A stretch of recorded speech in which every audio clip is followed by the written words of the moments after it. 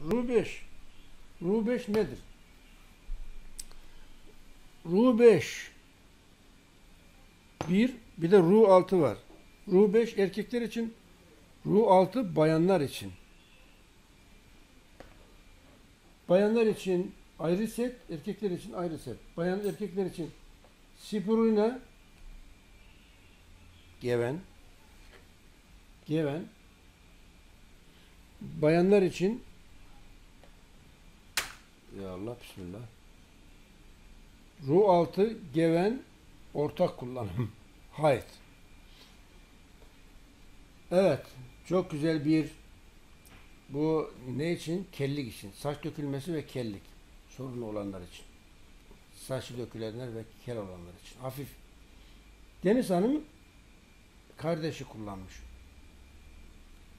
İki ayda saçlarım çıkmaya başladı diyor. Teşekkür etmiş. Güzel bir video var.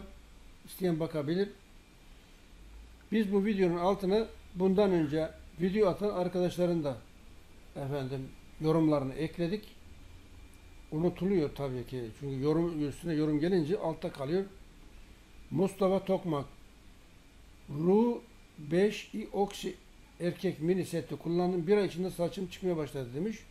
Videosu var. isteyen bakabilir. Hamit Karakuzu yaşı ilerledikçe tabi saçlar dökülmüş. Saç ektirmeyi düşünüyor. Korkuyor tabi saç ektirdi mi buradan alınacak, buraya dikilecek ama sinir hücrelerine tahribat verdiği için bir yıl iki yıl ağrısı devam ediyor. Önce tabi korkmuş. Dedi ki sizin bir kullanalım. Kullandı. Saçı maşallah fırça gibi saç oldu. Burada videosu var. İsteyen bakabilir. Hakan Taşkın. Bu arkadaşımız da yanları gitmiş şöyle sağlı sollu. Kullandı. 6 haftada düzeldi. Devam ediyor.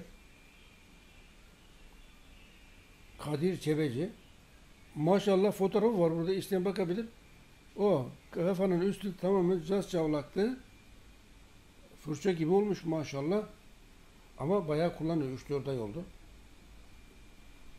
Ha, bununla ilgili videolar var. Daha birkaç tane. Fazla yer kaplamasın diye atmadık onları. İsteyenler bitkisel tedavi nokta nete bitkisel tedavi nokta nete bunları atmayı unutmayın. Kaybolmasın. Güzel yorumlar var, videolar var. Evet. Erkekler için Ru 5 artı spirulina artı geven. Bayanlar için Ru 6 hayıt artı geven. Bunları kullandı mı ne olur? Saç dökülmesi, kellik sorunu diye bir şey olmaz.